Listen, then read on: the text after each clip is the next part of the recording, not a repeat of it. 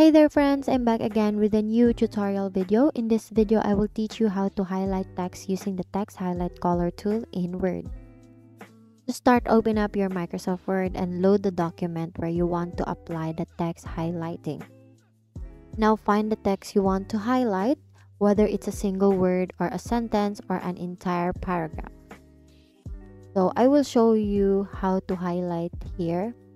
So we will choose, for example, this one, this sentence. Now, please uh, locate the text highlight color in the Home tab. Under the font section, you can see an icon where there's a little marker icon. So please click it and then a color palette will appear. Use your desired highlight color by clicking on it. Your selected text will instantly be highlighted in that color. See? Easy, right? And that's it. You now know how to highlight text using the text highlight color tool in Word. It's a simple but effective way to make your document stand out. Thank you for learning with me today. Once again, thank you for watching how to highlight text using the text highlight color tool in Word.